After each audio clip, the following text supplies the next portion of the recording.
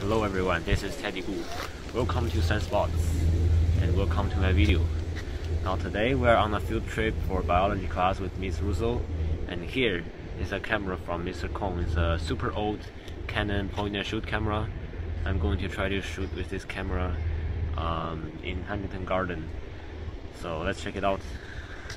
So this camera model is called Canon PowerShot SD10 Digital ELPH. It has a 1 over 2.5 inch 4 megapixel CCD sensor that takes 4 megapixel photos. Also, the camera has a 6.4mm f2.8 prime lens. The ISO can be automatically set by the camera between ISO 50, 100, 200, and 400. The camera stores photos and videos on an SD card, so it is very easy um, to export photos and videos from the camera to your computer. I will make more videos about this Canon SD10 later. If you would like to know more about this camera, please subscribe to my channel. Alright, let's go straight to Huntington Garden to shoot some videos and photos.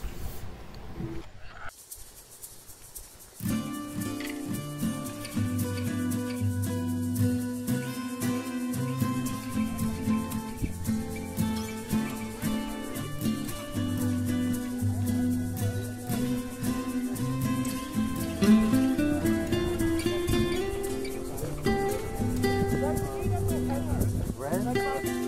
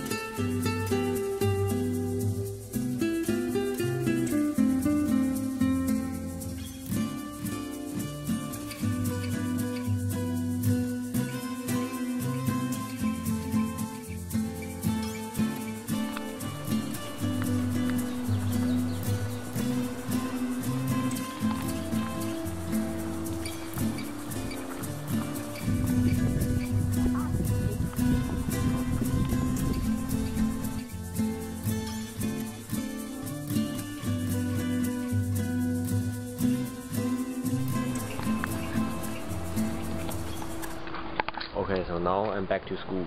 Thank you very much for watching. See you next time.